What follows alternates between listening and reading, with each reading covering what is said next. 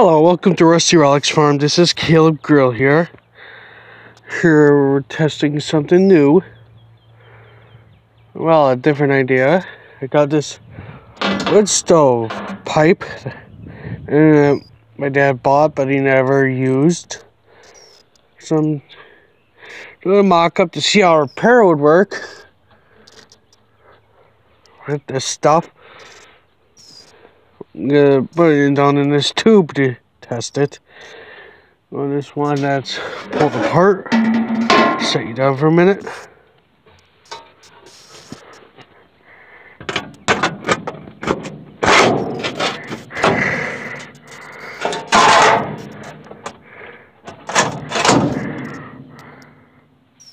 It fits in there.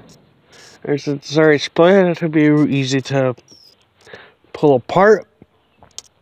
All I gotta do is figure out how to cut it right so it fits the elbow and the auger and do the same right here. Alright, because the hole's like that. Don't want any grain leaking through.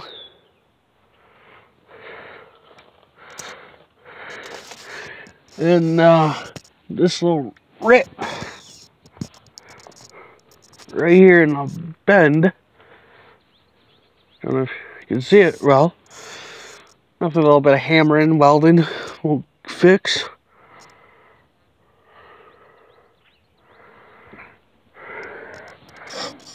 Yeah, my goal is to get this go go running by the end of next year. Because I need to save up some money to work on the corn planter first and key and also buy a computer and camera setup so it look more so this could look more professional. And uh,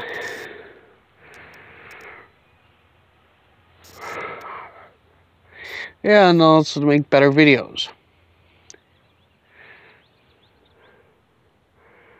Now let's see.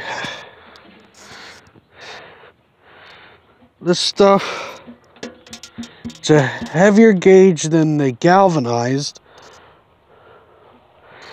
I mean it's heavier than galvanized stuff. So it should last at least a couple of years.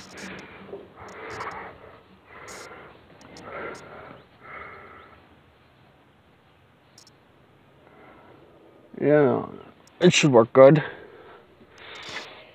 It also should work good on patching this up because you can see daylight through that.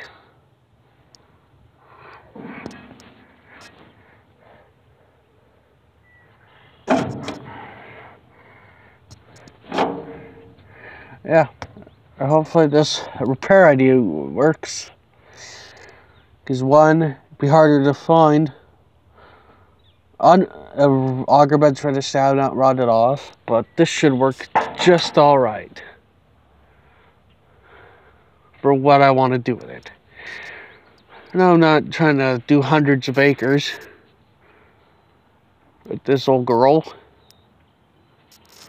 If I do hundreds of acres with the combine, I'd either go the John Deere 55 or an IH 1440.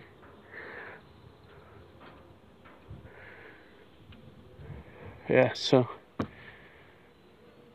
just uh, showing you different ideas for what I'm going with.